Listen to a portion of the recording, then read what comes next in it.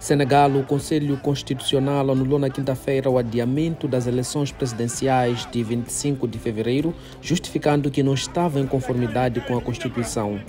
Vários opositores ao governo foram libertados da prisão no meio de uma crise política que assolou o país desde que o presidente Macky Sall e o parlamento adiaram as eleições presidenciais. Egito, segundo fontes citadas pela Reuters, autoridades estão a preparar-se para o caso de um êxodo desencadeado pela ofensiva israelita em Rafah. O Egito negou estar a fazer tais preparativos.